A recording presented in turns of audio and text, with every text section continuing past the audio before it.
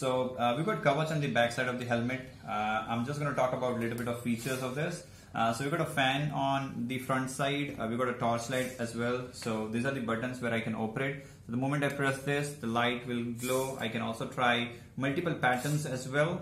And the same way with fan as well. The moment I press this, uh, it will start working. There are I can also increase the speed of it as well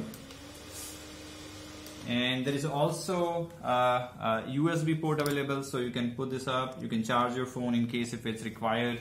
And this entire uh, thing is uh, you know working with the help of solar panels. So while you are working on the field it will get charged automatically. And uh, there's also temperature sensors on front. And there's a compass as well. And uh, Kavach will last uh, for almost like one and a half to two years on a single charge